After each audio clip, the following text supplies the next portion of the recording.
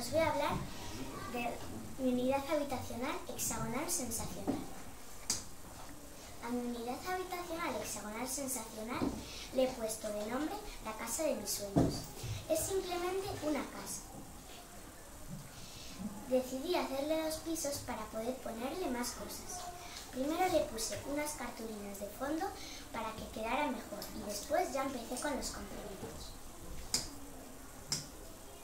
Piso de abajo le puse un, un globo, un puff con un globo y algodón, una alfombra con una tela muy chula que aquí no veis muy bien, una televisión con plastilina y una puerta con corcho y la manilla con una chapa y plastilina. Al piso de arriba le puse un sillón con plastilina, una cama con espuma y de, de manta una tela y de almohada plastilina y una ventana con plastilina y cartulina.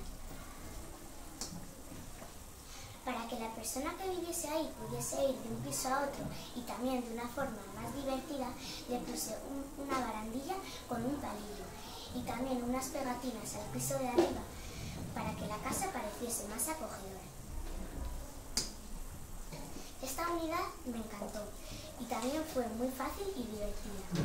Una de las cosas que más me gustó fue todo lo que aprendimos en clase y las cosas interesantes que nos enseñaron Illa y Ángel.